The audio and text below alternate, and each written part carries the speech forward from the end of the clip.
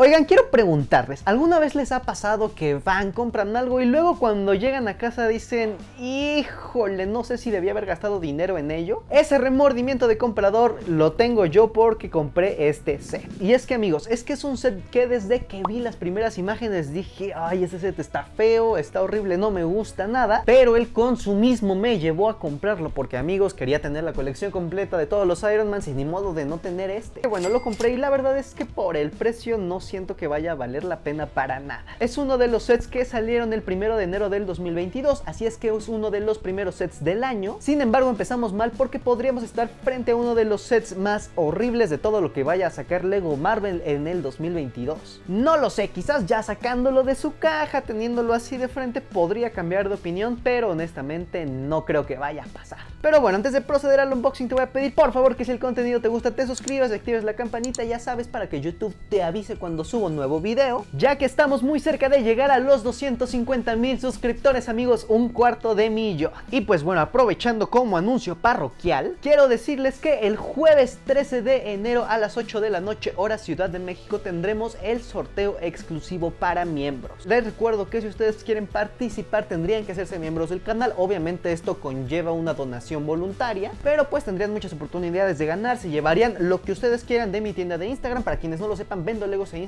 ustedes escogen un artículo de ahí y yo se los envío a su casa totalmente gratis. No importa si eres de Argentina, de Chile, de Perú, de España, de México, no importa, este sorteo es internacional. Pero les repito, es solo para miembros del canal ya que es uno de los tantos beneficios que obtienen cuando se vuelven patrocinadores de Minifix and Bricks. Así es que nada, nos vemos, recuerden, jueves 13 de enero, 8 de la noche, hora Ciudad de México, en un live aquí en YouTube exclusivo para miembros para hacer el sorteo. Ahora sí, basta de tanto bla bla bla, vámonos al unboxing del que probablemente sea uno de los peores sets de Lego Marvel de todo el 2022. Ok, pues al parecer trae cuatro bolsas y algo que me gusta es que es de estos sets que trae así la plaquita con la información. Ahí podemos ver que es el Iron Man Mark 43. Está bastante chido esto. Obviamente sigue perteneciendo a los sets de la Infinity Saga. Y amigos, para quienes se lo preguntaban, los mech sí van a salir. No estoy seguro aún si va a salir el primero de marzo, primero de mayo o el primero de abril. Pero ya es un hecho que sí los van a sacar, solo que se retrasaron. Eh, muy bien, pues vamos a armarlo.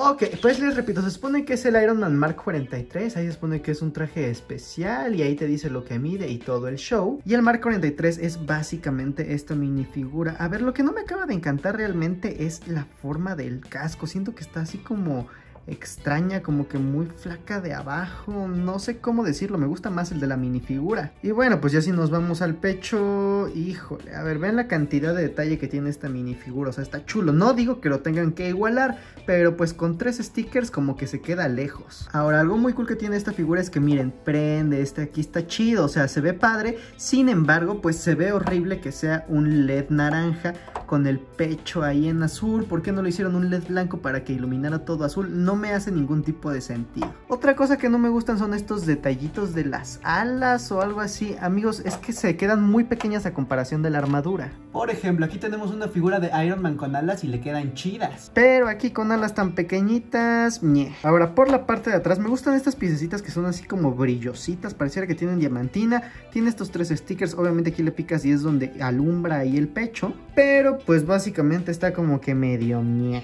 Y es que amigos, ser honesto, más que creer que este es un equivalente de esta minifigura, siento que es un equivalente de esta otra armadura. Hace tiempo Lego ya había hecho este tipo de figuras, había también un Hulk, un Batman y creo que un Capitán América. Y a ver, como que es en la misma onda, o sea, van por la misma línea. Sin embargo, por favor vean el molde aquí de la cabeza, está chulo, se siente como que un casco grandote. No esperas mucho detalle porque pues está ahí todo flacucho, pero el pecho trae buena impresión y ahí se ve chido. Aunque insisto, esto no es la gran figura, pero la verdad es que eso tampoco Y honestamente, si me dan a elegir entre esos dos, aunque este tiene el pecho que brilla, este me gusta más. Insisto, tal vez es la cabeza, no sé, pero en general siento que está mejor hecho, aunque bueno, en tamaño pues este sí está bastante más grande. Y es que siento que justo la estatura es algo que le juega en contra. Siento que tiene piernas muy larguiruchas, un torso medio medio y una cabecita que no, no va proporcional con el cuerpo. Y repito, estas alas de atrás no me hacen ningún tipo de sentido. Tampoco es que un cañonzote haga mucho sentido en Iron Man, pero al menos lo hace verse mejor, se ve ahí más ponchado, más imponente. Y aquí como que dijeron, ay, hay que ponerle más piezas, no se me ocurre qué, ponle esas alas chiquitas y ya mínimo se los hubieran hecho grandes, no sé.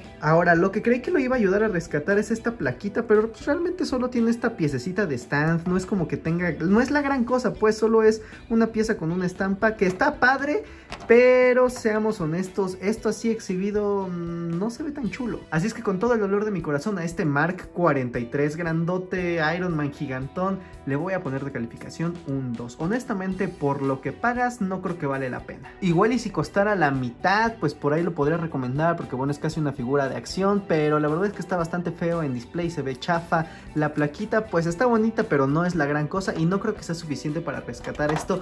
Además, no sé, esto de que prenda naranja, si le hubiera prendido azul, igual y le subía la calificación, pero amigos, no, Lego no te da mucho por tu dinero, la construcción está bastante feita, no lo recomiendo. Y bueno amigos, la verdad es que sí está bastante Federico, está bastante horrible. Yo definitivamente no les recomiendo comprarlo, me parece un set malísimo, horrible, mejor gasten su dinero en otra cosa. Yo personalmente solo se lo recomendaría comprar a un tipo de personas y es a todos aquellos que quieren tener toda la colección de los Ironmans. Repito, yo tengo todas las armaduras, todos los Hulkbuster, pues ni modo, había que comprarlo para tener la colección completa. Pero si ustedes no son coleccionistas completistas y nada más quieren irse por las cosas que de verdad están chulas, definitivamente no gasten su dinero en este set, no vale la pena. Así es que bueno, Lego Marvel empezando con el pie izquierdo, empezamos mal el año. Con eso llegamos al final de este video. Les recuerdo que pueden ir y seguirme en mis otras redes sociales. En Instagram vendo figuritas, en TikTok hay videos diarios. Y les repito, jueves 13 de enero, 8 de la noche, hora Ciudad de México, sorteo exclusivo para miembros, para los patrocinadores oficiales de Minifix and Bricks. Como siempre, muchas gracias. Espero que el video les haya parecido interesante, que les haya gustado. Si es así, regalen un like y un comentario. Yo por hoy me despido, pero nos vemos en unos días con un próximo video. Hasta pronto.